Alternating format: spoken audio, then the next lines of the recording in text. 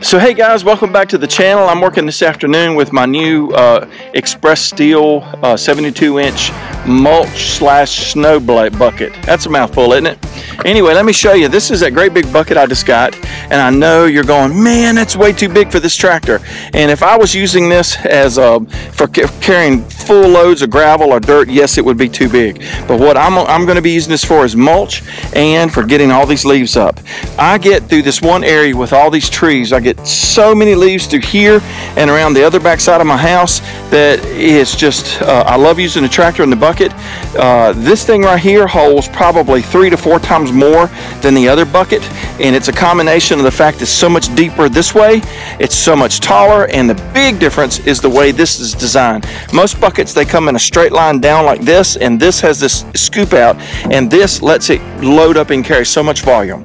So guys, I'm gonna get busy, and I just want you to see this bad boy in action.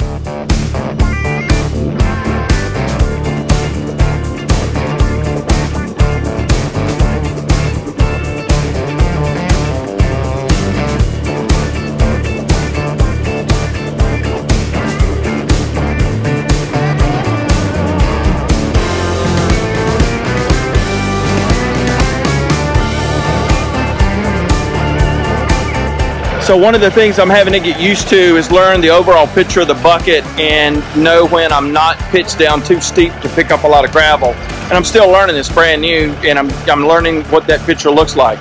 But the thing I wanted to show you guys is just look how much volume this thing will hold. Isn't that absolutely amazing? I mean, this is, like I said, probably almost four times as much volume as the standard bucket that comes with this. There's no weight, just a lot of mass, so this will save me three to four less trips running back and forth, yeah, carrying my leaves back to the burn pile. So I'm excited, man. This thing is doing great.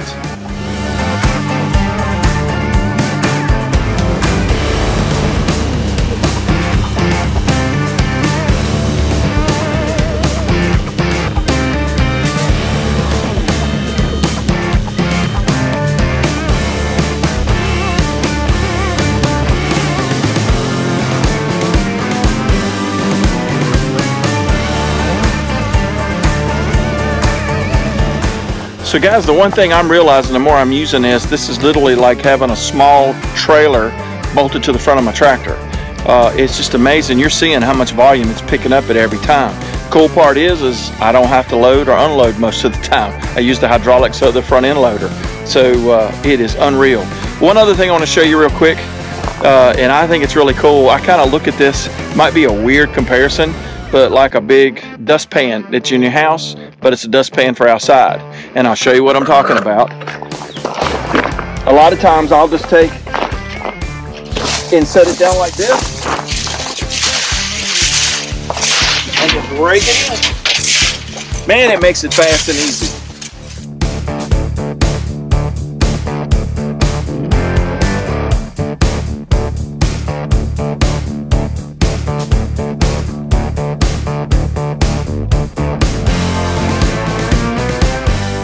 Well guys, as you can see, the bucket from Express Steel is this mulch snow bucket or snow mulch bucket. I think it's they call it the snow mulch bucket.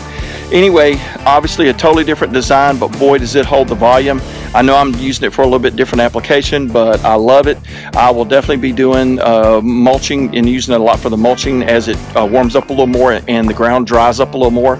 So for now, guys, I'm gonna jump back on the tractor and work until dark. I just wanted to give you guys a show you guys how great this thing works.